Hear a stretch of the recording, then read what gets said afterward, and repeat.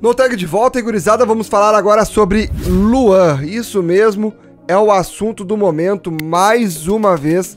Luan deve estar agora de fato saindo do Corinthians, é o que vai acontecer. E como isso afeta o Grêmio?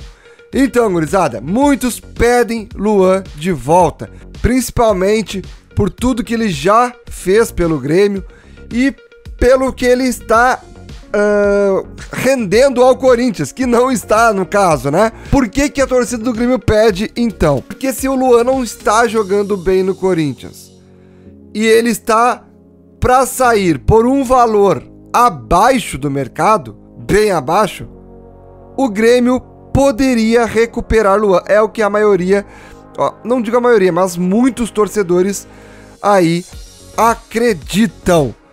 E o porquê que eu venho trazer sobre o Luan? Porque surgiu a seguinte notícia sobre o Luan. O Corinthians ofereceu o Luan de graça para o Santos, que deve acertar aí com o Luan. Isso mesmo. O Corinthians aí tá muito próximo de fechar aí o empréstimo do meia Luan para o time do Santos. E o Corinthians vai pagar 100% do salário. É isso, cara. É isso. 100% do salário do Luan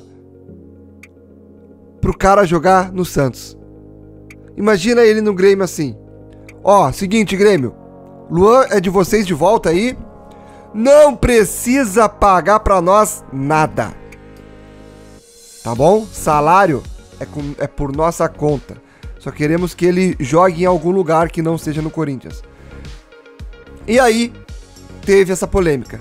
E aí, o Luan, serviria para o Grêmio dessa forma, sim ou não?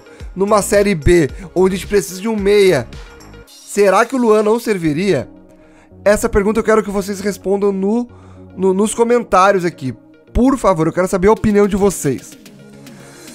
Mas aí, vocês, uh, vocês ficam perguntando também, né? Tá, mas e aí? Aí vem o Luan, a gente fica tentando, tentando, tentando, e quando vê ele prejudica o time.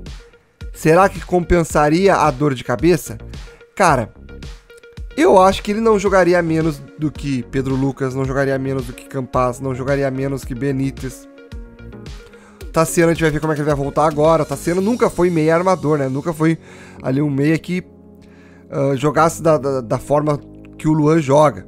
Não faz a mesma a mesma função no caso, né? Mas acredito que o Luan seja melhor que também o Tassiano. Eu Cara, minha opinião. Vendo ele jogar no Corinthians, vendo que ele joga hoje, se ele não tiver vontade, para mim também não vale a pena. Mas, agora se ele sair do Corinthians quando vê é o Corinthians que está fazendo mal para ele. Quando vê ele volta pro Grêmio e, sei lá, tenta realmente com vontade se recuperar numa Série B para achar o seu futebol novamente. Minha opinião.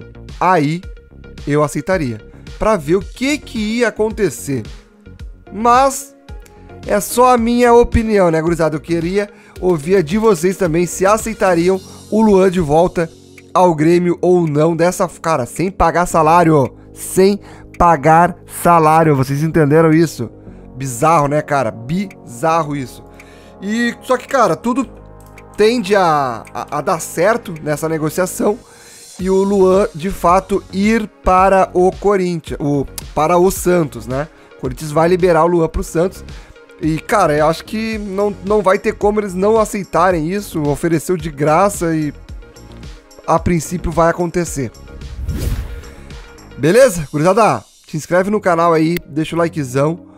E eu quero ouvir, não, né? Eu quero ler a opinião de vocês aqui nos comentários. Aceitaria o Luan de volta? Sim ou não?